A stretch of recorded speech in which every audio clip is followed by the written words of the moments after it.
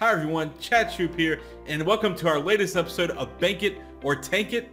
This week we're going to be breaking down a stock that actually came to me in the comments section. I'm going to look to feature these stocks in the coming weeks, just stocks that you all want me to take a look at. That's going to be the ones that we're just going to run through over the next several weeks. So that way we can get caught up on the many of the ones that you all want me to run through a bank it or tank it on. And for those of you that are new, I just want to let you know that every week we run through one stock for the sole purpose of figuring out whether or not we want to bank on this stock going higher or it's a stock that's going to tank and go lower. And we do that by looking at three basic areas, the fundamentals, the sentiment, and then the technicals. We go to a price chart. And at the end of each video, I'm going to give you a price target that I expect to see that stock head to over the next 12 months. So our stock today actually came from John Culp. He left a comment on the last video, wanted me to take a look at MongoDB. So that's going to be the company that we're going to use for our bank it or tank it today.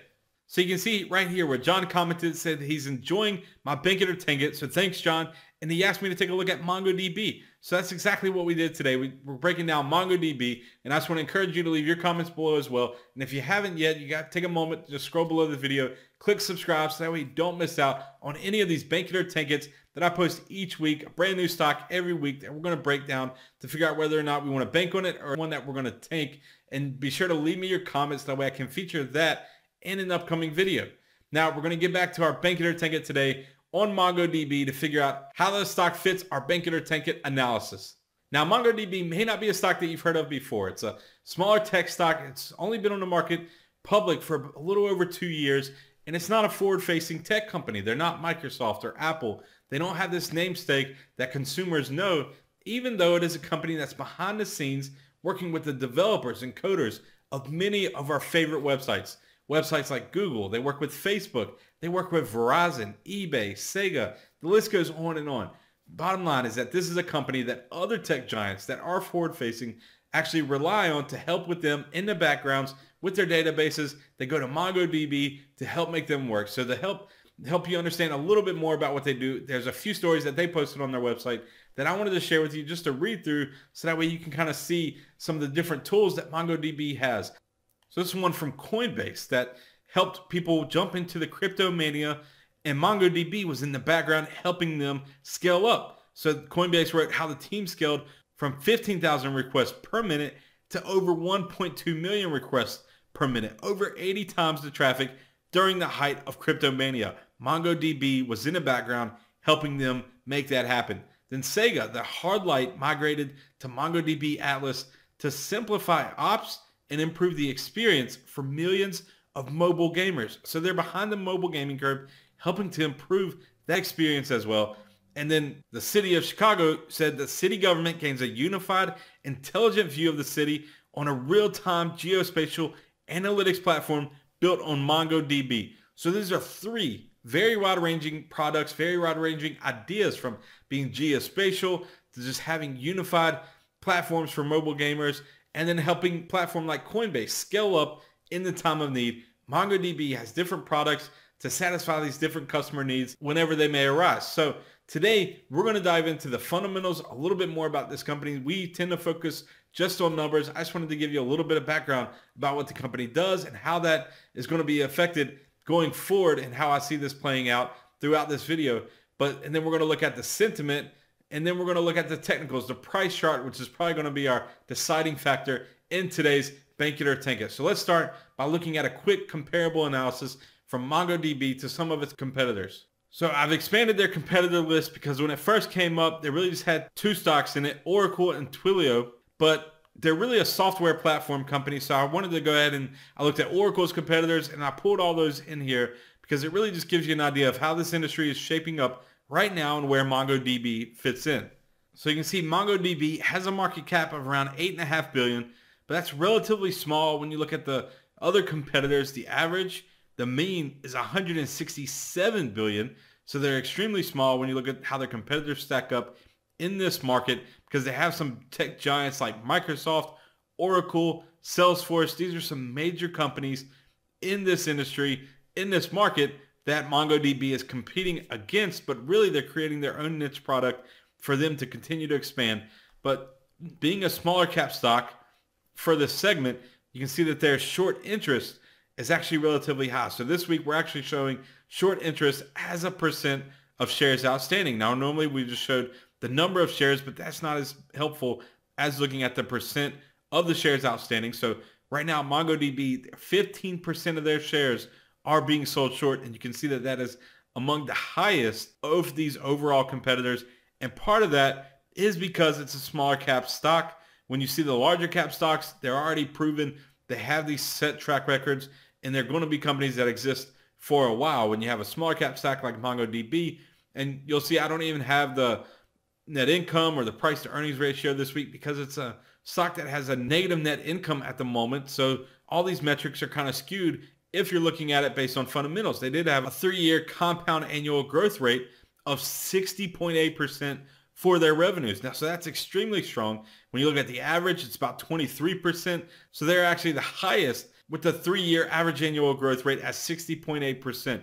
So MongoDB is a growth stock. When you look at growth stocks like this, they don't have the other fundamentals that you would want to see in a company to make you buy it based on the fundamentals. They're improving their net income and the losses. They're improving their cash flows, but they're still negative. The bottom line is that this is still a company that is losing money. So from the fundamental perspective, it's not going to be one that gets you excited. Yes, they're growing revenues at a tremendous pace, but if it doesn't translate into profits and the positive cash flows, then it doesn't matter how long they can grow revenues. They got to turn a profit at some point and investors will eventually draw the line. So until then, it's hard to have a positive spin on the fundamentals, but for a growth stock, this is definitely headed in the right direction. And when we look at it today, we just want to keep that in mind because it's still a tech stock and in the software industry and being able to provide all these database developers with some very specific tools that they can use and go out and help businesses that are in the cloud or looking for geographical assistance. They can have all these different tools that they're able to implement into their own products that it creates a nice edge for this company to continue to chip out market share and growth and eventually turn around and have a positive bottom line. So now let's move on to the key stats to look at their revenues and net income on a chart. So on this chart, the total revenue is the blue bars. And you can see how the growth in revenues has just been phenomenal over the last couple of years. And it's expected to continue to grow by at least 50% over the next couple of years. So it's on a very strong path to even more growth for its top of the line revenues. But net income, that's not so great because the net income is the purple line on this graph. And you can look at the left axis to keep up with the net income where it's at. You can see the zero levels way up here. So wow, in 2022, 2023, they investors are starting to think that they should be showing a profit by then. But trust me, with companies like this, small cap growth stocks, it could definitely take more years than this for them to turn a profit. You can see 2019 actually was a pretty up and down year for them. This was as of October, the latest 12 months, but then we move into January, the latest 12 months. So just ahead, we just go ahead three months here and we see a big jump. So they're seeing some positive momentum and investors are looking for that to carry forward over the next couple of years. But again, the growth is there on the top of the line. They just have to turn it around to getting some positive generation on the bottom line, but the company is focused on growth right now. So that means that they're taking their money that they make and they're putting it back into investments, back into new product ideas and new marketing initiatives to continue to grow their reach and to grow their clients. So that way they can expand their business. And then years down the road, then they'll turn around and focus on growing that bottom line. The question is, how long will investors let that go until they decide they're going to start to pull back some of the positive sentiment that they've been sending the stock's way. Because when we look at the sentiment for the stock, it's actually rated an outperform by about 13 analysts according to S&P Capital IQ. So it's 2.18 on this scale with one being a strong buy and five being a strong sell. So it's up there. It's at an outperform. So that gives us the very bullish sentiment from the investment community at the moment on this stock. And as we look at the chart, you'll you'll see how that has of playing out with this company. It's only a little over two years old, but it's seen some very strong bullish momentum in its stock price, and investors have been excited to have it rated as an outperform as the stock was trending higher. But it's been through a little bit of a different time over the last few months, and that may change. All right, so now let's jump over to the chart of MongoDB, and I already have a few things pulled up. Of course, we'll start with the 200-day moving average because we always talk about that. Even though the stock's only been public for a little over two years. It's still been long enough for it to have a 200-day moving average trend for us to pay attention to. And right now the stock is just above it. It just got back above it last week, but that's still great to see. It, it is above its 200-day moving average.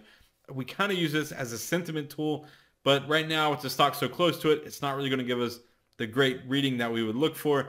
Typically, if the stock's above the 200-day moving average and the 200-day moving average is trending higher, that's a bullish sentiment indicator. If the stock's below the 200-day moving average and it's trending lower, then that's a bearish sentiment indicator. So right now, the 200-day moving average is basically flat. The stock price is actually just above it. So I expect the stock to kind of bounce around this area for a little bit longer before it actually breaks out. But when you look at some of these key levels that I've shown on the chart, we'll start with the solid red lines and the solid green lines. The red line is the main resistance point on the chart and the green line is the main level of support on the chart. Now these two have been converging over the last few months and eventually it broke out above this red resistance line. So that was a very bullish sign for the stock based on its charts to break above this resistance that's really been in place since May that the stock has failed to get above and then it finally broke above that. So I think that this stock is going to be trending higher from here, but you can see this red dotted line. This actually goes all the way back to 2018 and it was a key resistance point. point and then we had a major move above that, a strong gap on earnings more than likely above this key level. And then the stock basically traded into a head and shoulders pattern.